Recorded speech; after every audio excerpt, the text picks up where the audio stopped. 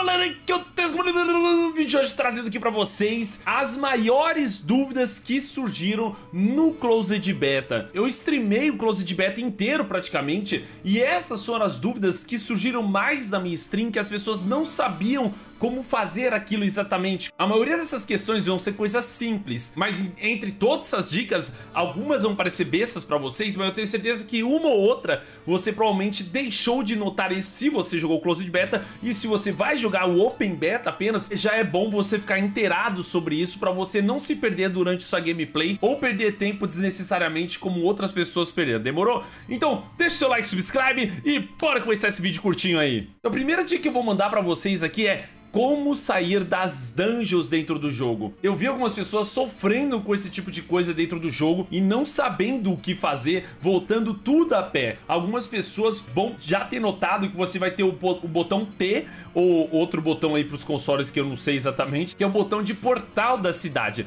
Mas muitas pessoas não sabiam que se você abrir a roda de emotes, vai ter um portal para você teletransportar para fora da dungeon, sem que você tenha que voltar para a cidade de fato. E esse portal vai ser muito útil em muitos momentos na sua, na sua gameplay. Aproveitando que a gente está com a gameplay de Ladina, vamos falar das quests de classes, que essas vão liberar normalmente o potencial da classe com o seu próprio sistema de classe, né? Então a gente está mostrando a Ladina. A Ladina, para você liberar o seu sistema de classe, você vai ter que pegar level 15 e ir até Menestad, uma, cidade que fica no noroeste ali da cidade principal do jogo. E você vai lá, vai encontrar um NPC, vai estar tá marcado no mapa pra você, é só você falar com o NPC e fazer a quest e você vai liberar o seu sistema de classe. Indo um pouco mais além, que também não ficou claro pra algumas pessoas, eu mesmo descobri isso só depois que me contaram. Se você apertar Shift C, você vai abrir o seu sistema de classes. Eu não sei a hotkey para consoles, que eu não tenho console, então você no console aí provavelmente vai ter que fuçar nos botões aí para encontrar o sistema de classe. E na Ladina, abrindo o sistema de classe, classe, você pode mudar o sistema de combo ou o sistema de visão interior, que são dois sistemas completamente diferentes. Indo para mago agora, falando rapidamente do sistema de classe de mago, ao chegar no nível 15 vai liberar essa quest para você também liberar o seu sistema de classe. Essa quest vai ficar lá no começo do jogo, exatamente onde você começa o jogo praticamente. Você pode abrir seu mapa que vai estar tá mostrando para você lá, lá no comecinho do jogo, você vai lá, faz a quest e vai liberar o seu sistema de classe também. Aproveitando, continuando esse papo de sistema de classe, o Necromante a gente não tem gameplay mostrando aonde vai estar o sistema de classe para você iniciar. Mas você fica esperto no seu diário, que é essa tabela que fica aparecendo para você aqui na direita quando você abre o mapa.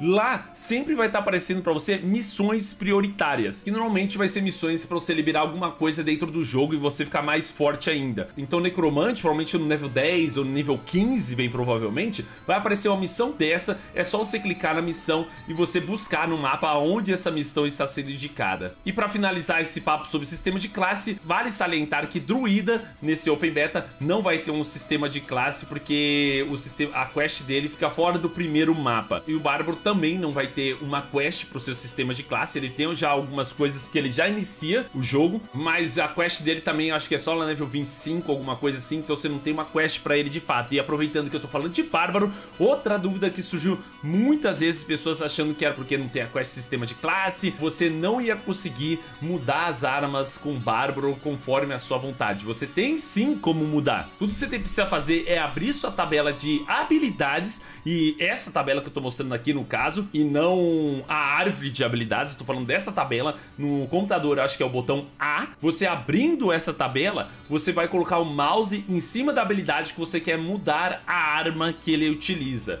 Você vai clicar com o botão no meio do mouse, o scroll, né? Você apertando o botão do scroll, você vai poder mudar que arma você está utilizando. Normalmente o jogo vai estar utilizando sempre automaticamente as armas que ele acha mais adequado, que vão ser as armas Uh, com maior dano, que é o que normalmente você deveria estar tá fazendo, a não ser que você tenha um motivo para você mudar de arma. E aproveitando que a gente está falando de armas, eu gostaria de salientar que o jogo ele tem um sistema de apresentação de itens bem simplificado, sem mostrar as complexidades por trás dos itens.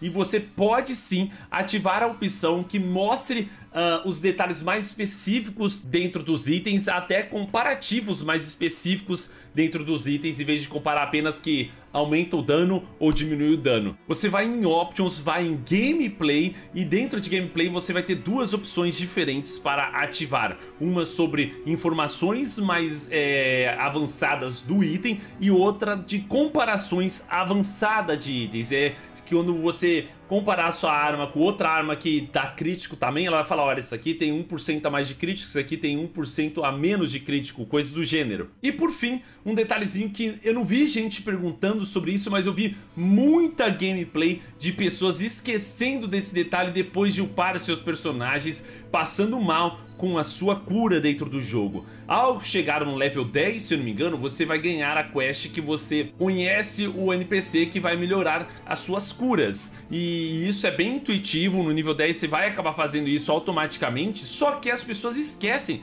que no level 20 você pode dar um upgrade nessas curas. E eu vi muita gente esquecendo disso, pegando personagens de nível 25 e mantendo as curas de nível 10 e sofrendo muito com cura por causa disso. Então por isso eu achei interessante salientar isso aqui nesse vídeo. E galera, as dicas são essas apenas, é um videozinho simples, curto, bem dinâmico para vocês. Algumas dicas eu sei que vão ser bobas para vocês, mas eu tenho certeza que uma ou outra ali talvez passou despercebido pelas pessoas do Closet Beta, ou até mesmo a pessoa se reconhece e falou, nossa, eu demorei um pouco para sacar isso aqui também.